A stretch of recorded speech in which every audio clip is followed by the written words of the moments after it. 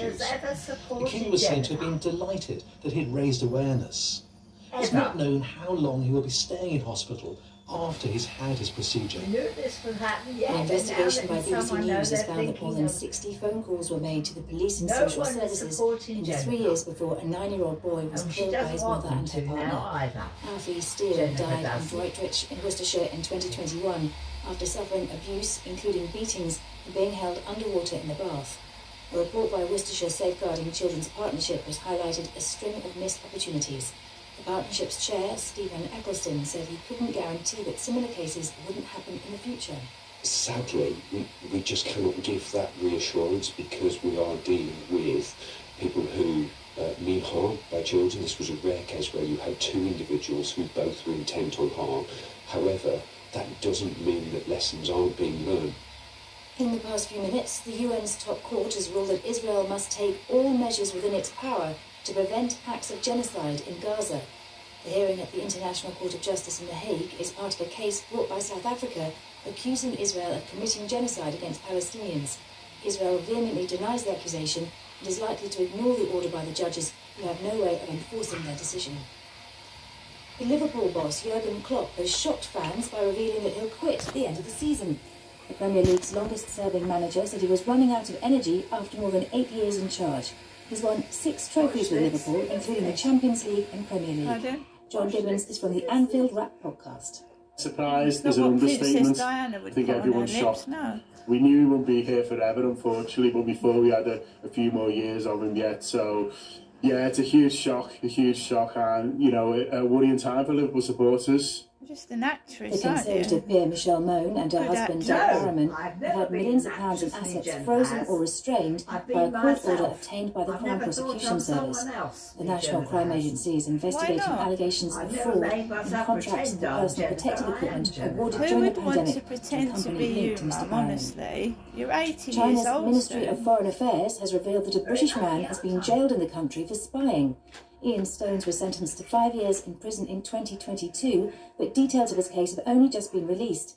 His family say he hasn't made a confession and is in poor health.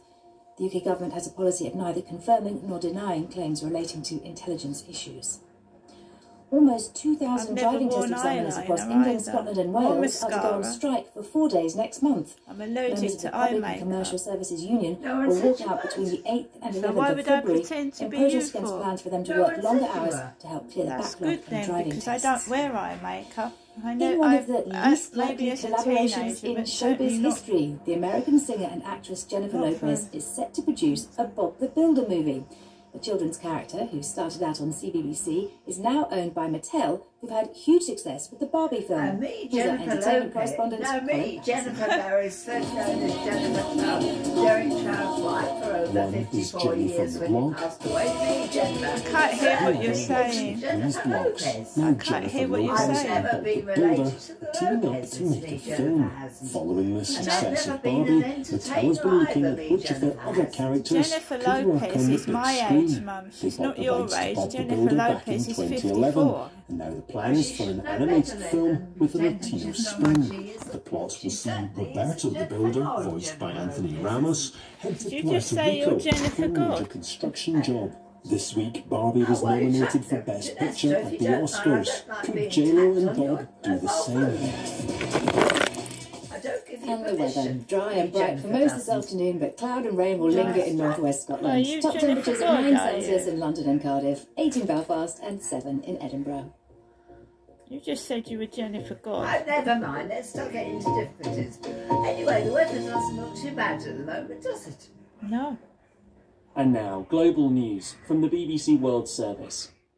BBC News with Moira Alderson. Let's The UN's King top Charles court has ordered Israel to take a string of emergency measures in operation. Well, I have Gaza no as idea. part of the genocide case brought by really South Africa. But the judges Me, stopped short of doesn't. demanding a ceasefire. Kate Israel has been told to do all in its power to stop the killing of Jennifer doesn't. Palestinians and enable more aid into the territory. It was also ordered to punish the incitement of genocide. Israel denies the genocide accusations and is thought likely to ignore the orders. A Kenyan court has ruled that plans to send police officers